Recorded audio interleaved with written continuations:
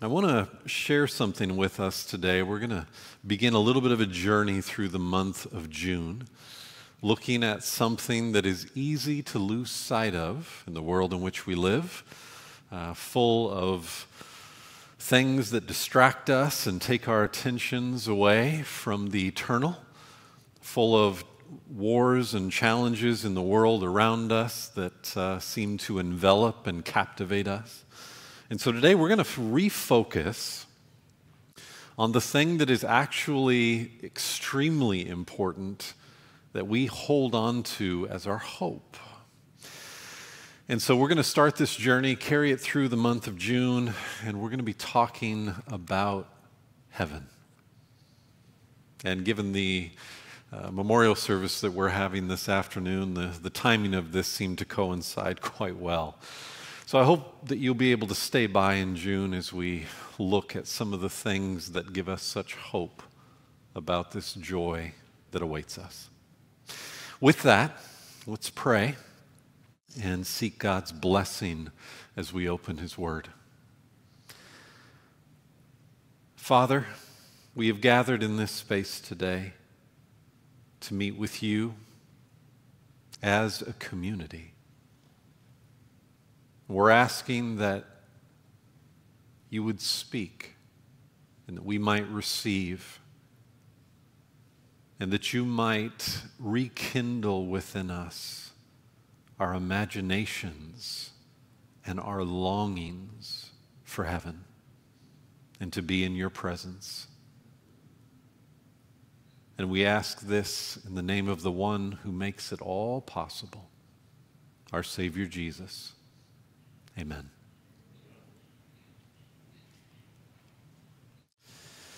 So, as a kid growing up, there was something I loved to do on Sunday mornings. Uh, there was this program on the TV, and these were the days when you actually had to schedule what you wanted to watch because it only came on at certain times you had to actually show up in front of the TV at a certain period of time because it was not going to be played any other time.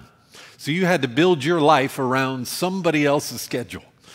Um, and for me, Sunday mornings were a time when my brother and I would get out these big Tupperware bowls and we would fill them up with cereal and we would watch Looney Tunes cartoons. Now, some of you know what I'm talking about. Uh, Bugs Bunny is one of those characters. Uh, uh, Elmer Fudd was one of those characters, Yosemite Sam.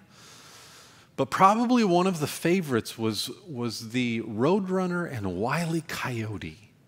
And Wile E. Coyote was one of those really interesting characters that always had the same reincarnation every time. I didn't understand reincarnation at the time, or that it was a thought in, in uh, people's consciousness in other places in the world, but Wiley Coyote, he always had bad things happen because he was doing bad things. Had bad things happen to him that pretty much brought an end to his life, and he always came back the exact same person. There was never an advancement for him. Uh, it was a really, really uh, tough job, I think, to be Wiley Coyote, trying to catch the Roadrunner. But anyway, so we would watch these cartoons on Sunday mornings, and you're probably wondering, what, is, what, what does this have to do with church? Stay, stay with me. Once in a while, the cartoons would give this depiction of someone that had died and gone to heaven. And, and so you get this idea in your head as a kid that when you die, you go to heaven. But the heaven that was depicted in the cartoon was kind of a little bit like this you would be floating around on a cloud playing a harp.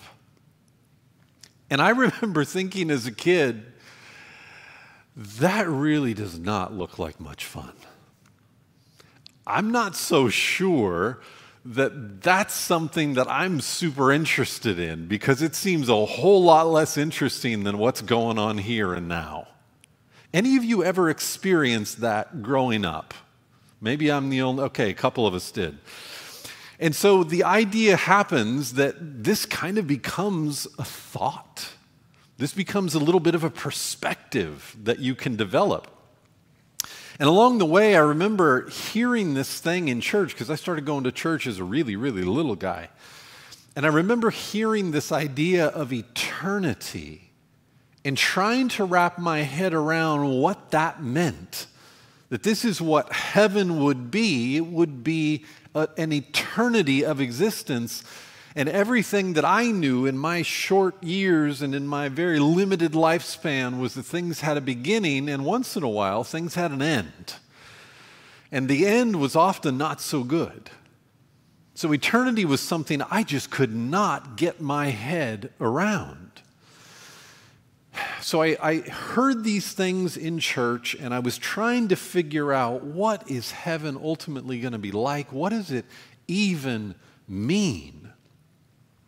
And along the way, the idea kind of came, and maybe some of you didn't deal with this growing up, maybe some of you did. Heaven became something that was kind of this other than. It was so far out of my ability to comprehend that it was just kind of set off to the side. Heaven is that thing that is out there, it's other than, it's not able to be really understood. And so, what that often will do is it makes you focus on the here and now almost at the exclusion of whatever that is, because really we don't even know what that is. A lot of people grow up in that experience. Heaven is just this other than experience. And along the way, various perspectives begin to come into play within our culture, within world cultures, that try to help us understand what heaven could be like. And there's lots of different perspectives, and it creates a great deal of confusion we have these concepts that come within Christian circles at times. To be out of the body is to be present with the Lord, and we have these kind of ethereal experiences that are portrayed. We have language in Scripture that, if you don't take it in its context, can almost make it seem as if heaven will be one long church service in the sky. And all we're going to do for eternity is sing songs and prostrate ourselves and say three words Holy, holy, holy, every day, all day long, and that's eternity. And it's no surprise that there are people that begin to think, hmm, I don't know about that. I don't know about that. So, all of these different things can create a great deal of confusion about what heaven will actually be like. And I am really grateful that God has opened the windows for us to quite a degree to give us perspectives in Scripture on what heaven will be like. Now, there's many things that are still as yet unknown, but what we can know that's left for us in Scripture is beautiful. And so today I want to draw us back to begin that discovery again because the realities are what we most long for. So let's take a little journey through Scripture. We begin conceptually in the book of Genesis, the very first book of the Bible. And in chapters one through three, we have God creating what could only be described as paradise. It's called the Garden of Eden. And in this garden is everything that would foster human happiness and joy and pleasure. It is a beautiful environment, an environment that is not ethereal, it is not other than, it is very concrete and, and, and tangible. It is the kind of place where your feet touch the ground and your toes feel the grass coming through. It is the kind of place with real air and real water, real animals, real plants, beautiful scenery. It is the kind of place that fosters human life, real, tangible, tactile human life. The kind of place where you can Put your fingers through the fur of animals and feel the bark of trees and feel the leaves. It's a real place in every sense of the word. And yet, in those first three chapters, we find that something happens in paradise is lost. God's ideal for the human race was exchanged for a lie, and paradise was lost. Now, as we come to the very bookend, the other end of the Bible, the book of Revelation at the very end, the final two chapters in the book of Revelation reveal a paradise regained or a paradise restored. And so we go from borrowing a line from Milton that paradise was lost to coming to paradise restored or paradise regained.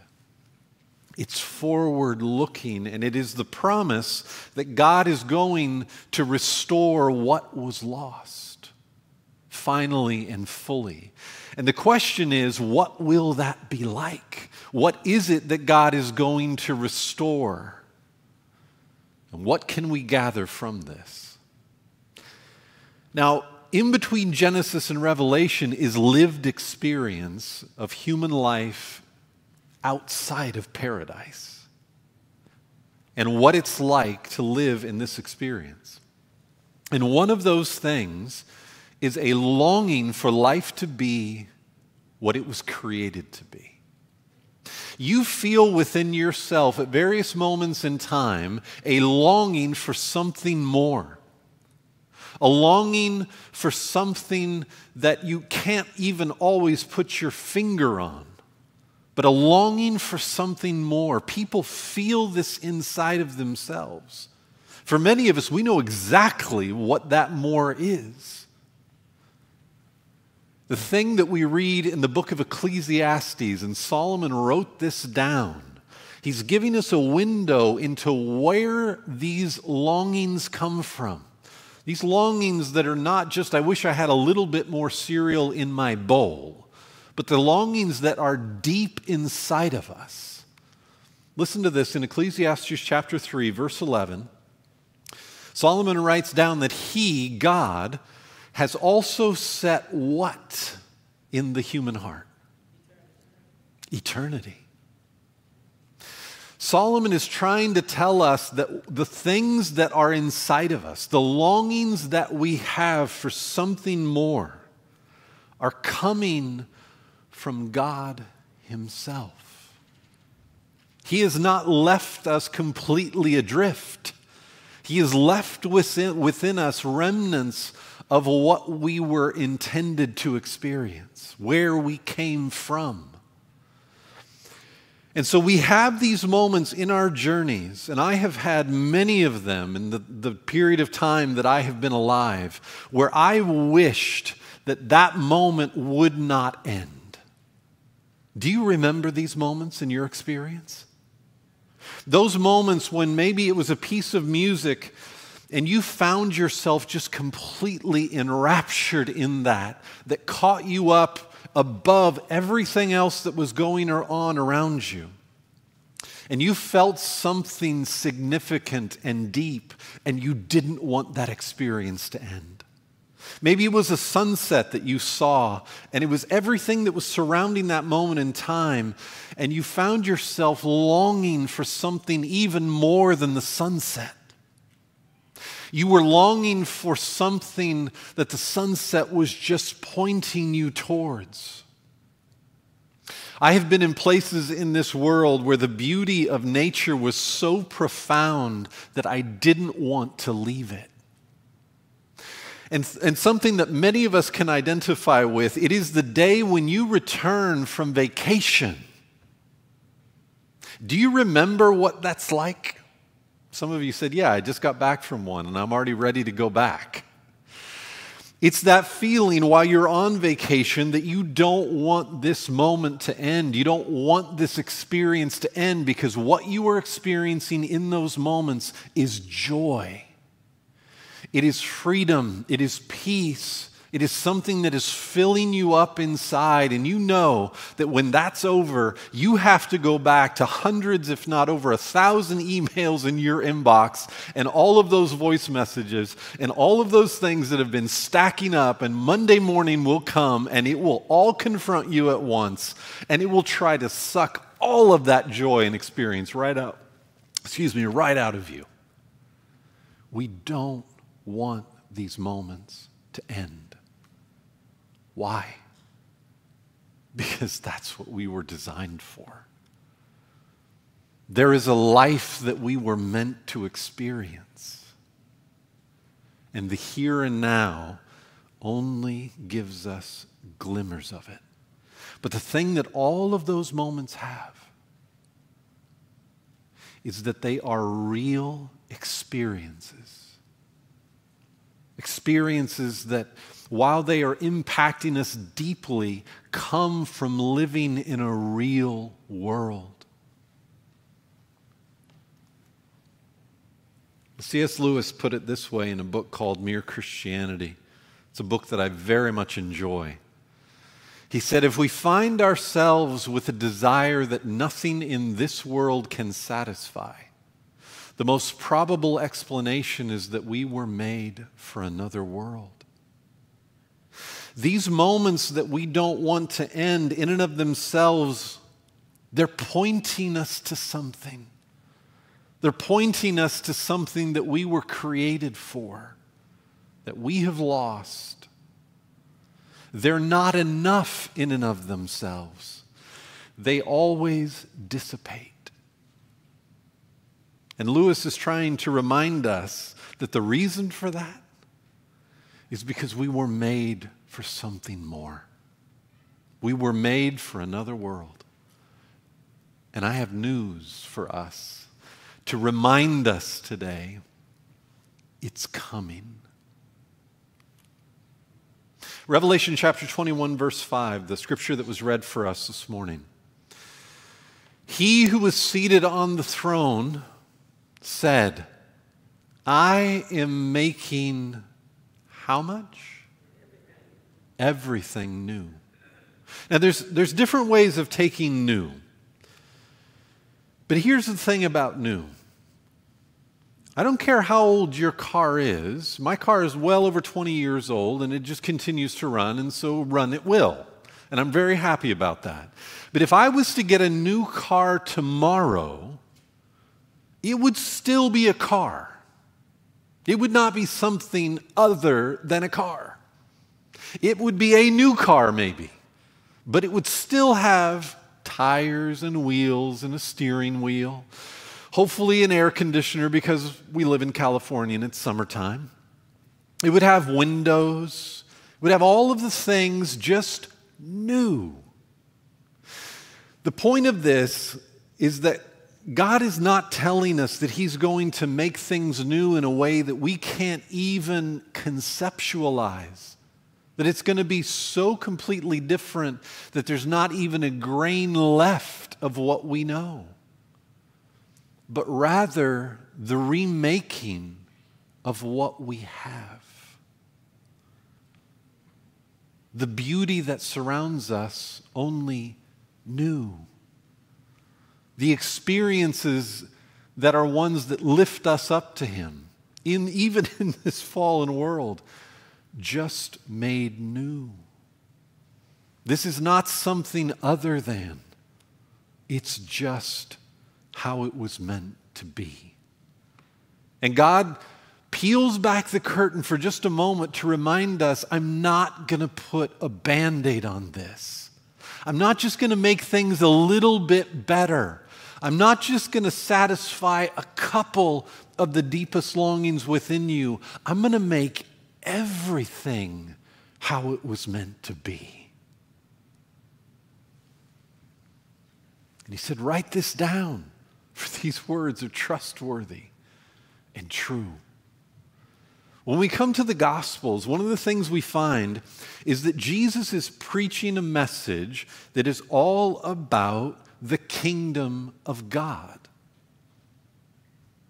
This is his message. And then the work that he does is pointing us to what the kingdom of God will ultimately be like. Let me give you an example. When Jesus is healing people that were blind, what does he ultimately give them back? Their sight, just like everybody else has.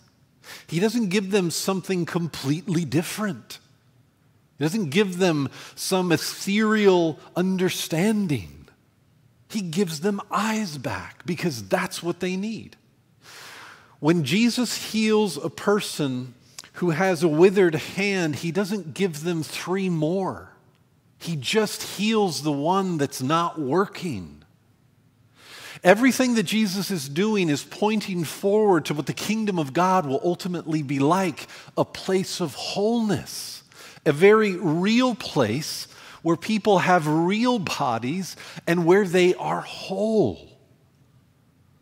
That's what Jesus is pointing us towards through the work that he does while he is on this earth. The kingdom of God will be a real place. And we will be real people. Now, listen to this from Daniel. This is uh, a couple of things surrounding this idea of a kingdom. We, we looked at this text a few weeks back, and then we'll jump over to Daniel chapter 7 and see this develop a little bit more. Daniel is telling the king of Babylon these words. This is in relation to his dream, but this is what he says. He says, The God of heaven, at the end of all of these kingdoms that have come and gone, says, The God of heaven will set up a kingdom. Not some place where we just float around on clouds. He will set up a kingdom that will never be destroyed, nor will it be left to another people a very real experience, a real place with real experiences. Daniel chapter 7, verse 14, he goes into a little more detail. All nations and peoples of every language worship him. His dominion, speaking of God, is an everlasting dominion. That means that ultimately God will be in charge and that means that peace and security will exist forever within the universe because God is in charge. His dominion is an everlasting dominion that will not pass away, and his kingdom is one that will never be destroyed. A real place, a real kingdom with real people and real physical places within it. Concrete. It will never be destroyed. Verse 18 But the holy people of the Most High, what will they get to do? Float around on clouds playing harps. The people of the Most High will receive the kingdom and will possess it. That means they will gain entrance into it. They will have a right to be there. They will get to live within this place. How long? Forever. Yes, he says, forever and ever. Everything in the language is referring us to a real kingdom, a real physical place with real physical experiences. Verse 22 The Ancient of Days came and pronounced judgment. How? In favor of the holy people of the Most High. And you thought judgment was a bad thing. Daniel reminds us judgment is actually, if you are one of the people who have placed your faith in Jesus, judgment is the best news. God is for you, and He votes in your favor because of Jesus. Pronounces judgment in favor of the holy people of the Most High. And then the time came when they, the holy people of the Most High, did what? Possess the kingdom. Everything is moving us towards this reality in this moment when we will experience life as it was meant to be. This is everything that God has been working towards since Adam and Eve walked out of the garden. He has been working towards the day when He can open the doors and say, Come on in. It's time to come home. Everything's ready for you. I have restored what was lost. And everything that you have ever desired in the deepest places within you will fully be satisfied here.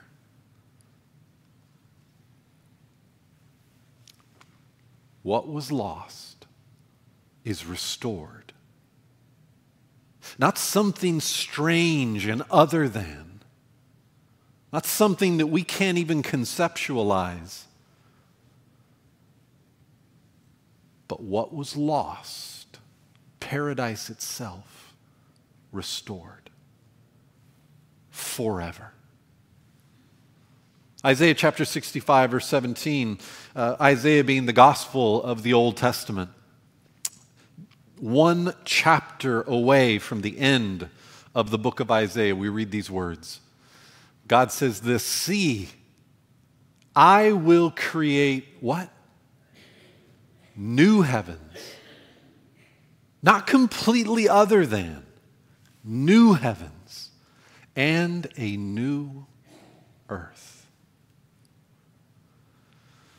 The former things will not be remembered, nor will they come to mind. Is God saying that you won't remember that there were such things as rocks and trees?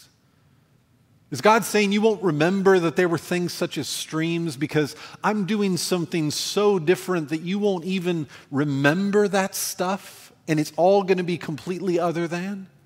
No. God is saying, I'm just making it new. I'm bringing it back to what it should have been, what it used to be. I am going to create new because everything that's here has been marred by sin. In spite of the beauty that yet remains, the stuff that's not going to be remembered anymore, it's not the rocks, it's not the trees. It's the things that are broken. It's the pain associated with this life right now. Because everything that we will get to experience and everything that will come into our vision or that we will tactily experience will be pointing us towards wholeness and life. There won't be the effects of the curse anymore. We won't remember it. We won't have to. Verse 21, he goes on to describe this. He says, They will build houses, not ethereal dwellings. They're going to build houses, places to actually live in. And what will they do? Dwell in them. They will plant vineyards and eat their fruit. Verse 22 No longer Will they build houses and others live in them? Or plant and others eat? For as the days of a tree, so will be the days of my people. My chosen ones will long enjoy the work of their hands. This was a language that people in Isaiah's day understood all too well because they were used to this cycle. They would build a house and a warring nation would come in and drive them out of it, and somebody else would get to live in it, and they would be kicked out. They would plant vineyards, and at some point along the way, somebody else would come and get to eat the fruit because they were kicked out of their place. And Isaiah is saying when God restores things to the way that they were meant to be, as he restores things to how they were at creation, no longer will it be that somebody else is going to come and take your home. You will get to live there for eternity. No longer is somebody else going to come and steal your grapes. You're going to get to enjoy them with your family and with your neighbors, and nobody's going to drive you out. The cycle is broken. That's the coming kingdom. So, creation of Adam and Eve, back to the book of Genesis. As God creates Adam and Eve, what does he create? Skin, flesh, blood, bones. As we mentioned earlier, the ability to feel the ground under your feet, the ability to feel the wind on your cheeks, to hear the sound of the leaves rustling in the trees, the water cascading down through the stream, the sound of the animals talking to each other as they do, the ability to feel and be felt. Real bodies inhabit a real kingdom. We come to Jesus' resurrected body. After his resurrection, Jesus appears to various people, and in the Gospels, we have evidence of what his body was actually like. It was not some phantom. Listen, listen to these reflections of Jesus' uh, post resurrection experiences with people.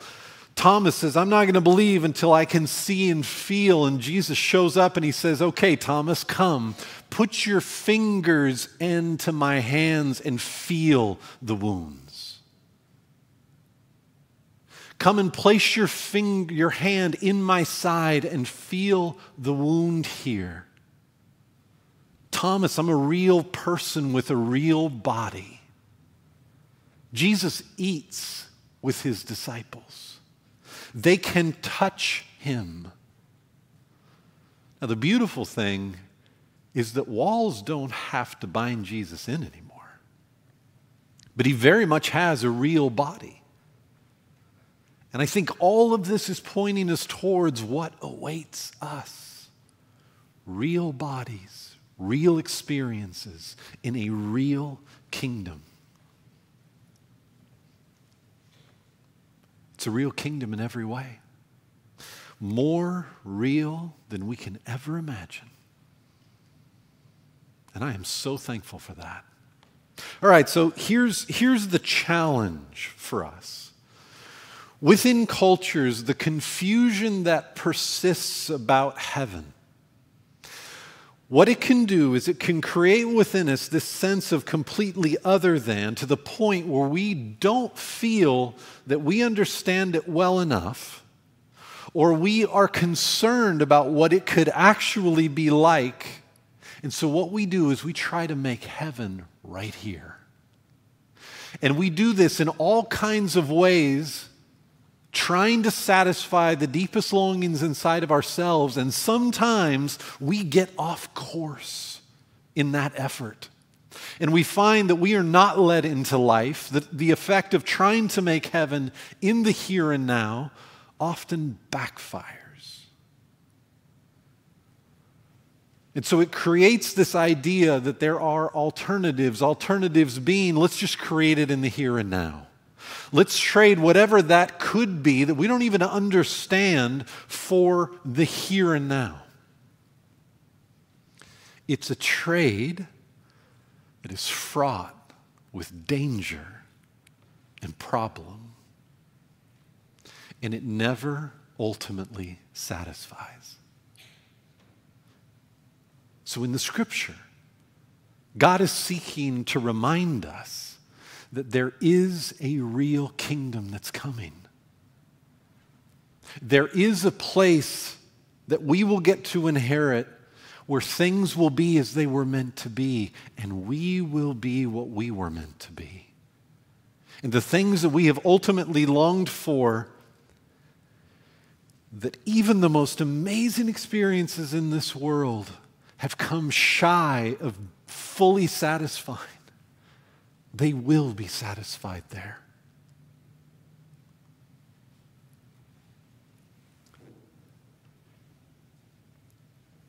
Lewis writes this down on page 136 of this book, Mere Christianity. It's a question that I think our culture would do well to reconsider.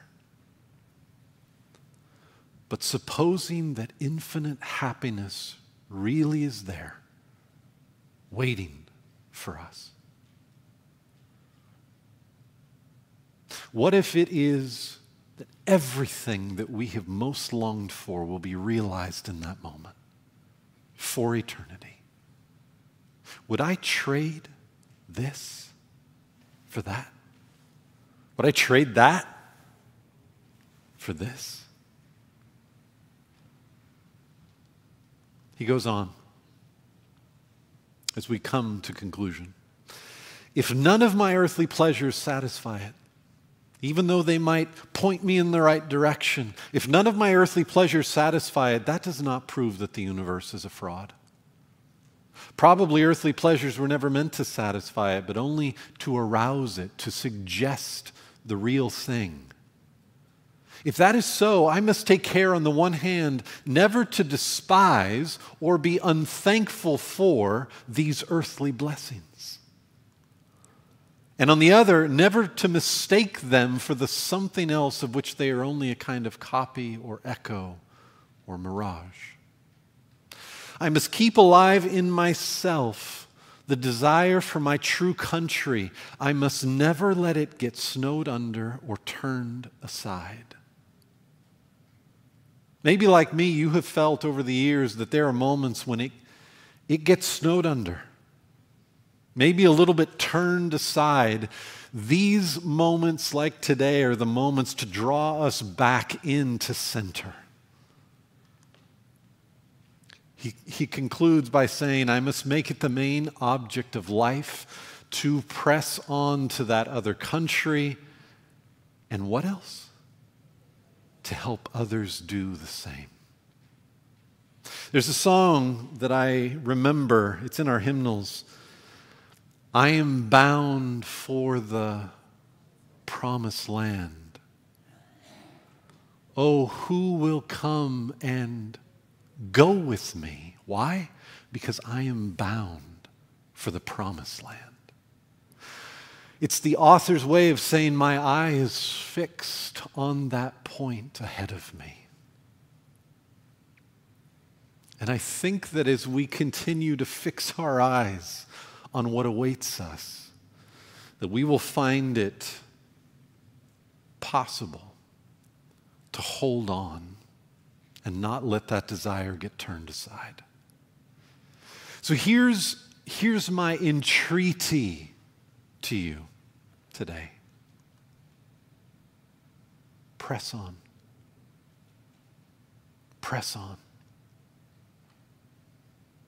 Don't trade it. Press on. Let's pray. Father, thank you for the seeds that you have scattered throughout Scripture that point us forward to everything that awaits us, where life will be as you intended it to be, where peace and joy will exist in measures that we can hardly fathom, where pain and sorrow will completely cease to exist.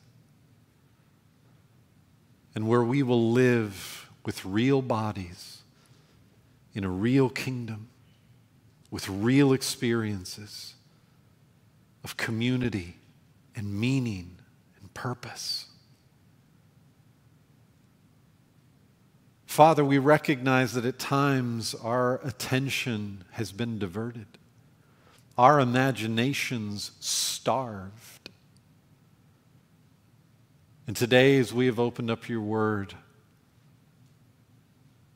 you've breathed life back into those imaginations again. And our plea today is that you would continue to inspire us with what awaits us that we would press on in your strength and not lose sight of it. Thank you that you are completely able to bring us safely to that day. For we ask it in the name of our Savior Jesus, who died that we might inherit the kingdom that you are preparing for us. Amen.